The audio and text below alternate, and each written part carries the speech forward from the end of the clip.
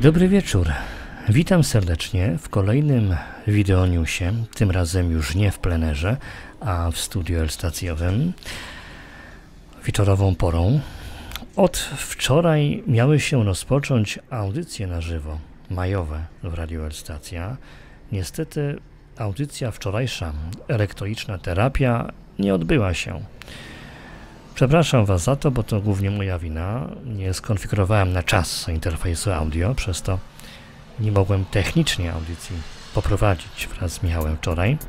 Na szczęście dzisiaj już interfejs został opanowany, więc w czwartek audycja Markowe Granie już się odbędzie. W czwartek Markowe Granie o 22 i w sobotę kolejna audycja Wieczór z ambientem zgodnie z ramówką numer 7. Zachęcam do słuchania audycji, do brania czynnego udziału, pisania na Ircu. To zawsze tak jakoś podnosi nas na duchu, jeżeli są słuchacze, słuchają naszych audycji. Tym bardziej przepraszam, że wczoraj audycji nie było. Miesiąc maj, więc również wracają audycje Retrogranie. Najbliższa audycja 16 maja w środę. Audycja oczywiście, którą poprowadzi dla Was Piotr Paszkę. Retrogranie będzie dwa razy w tym miesiącu, 16 i 30. Oczywiście audycja elektroniczne brzmienia również się pojawi 19 maja, no i audycja Decybel dzień wcześniej, 18 maja i muzyka elektroakustyczna w ostatni piątek miesiąca, który przypada akurat w tym miesiącu 25 maja. Zapraszam już dzisiaj.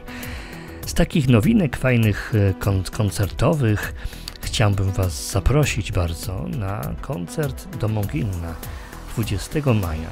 To jest niedziela. Zagra u nas e, Józef Skrzek w amfiteatrze.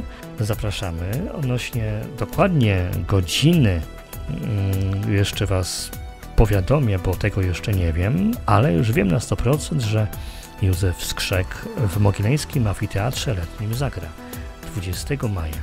To jest niedziela. Na pewno jak się dowiem czegoś więcej, to takie informacje przekażę, czy w postaci wideonewsa, czy w profilu stacjowym na Facebooku. I na pewno też będę Was zachęcał do wzięcia udziału w tym koncercie, do przyjścia, posłuchania Józefa Skrzeka, na audycjach oczywiście. Życzę udanego, miłego wieczoru, spokojnej nocy i do usłyszenia w czwartek na Markowym Graniu. Pozdrawiam Was wszystkich serdecznie.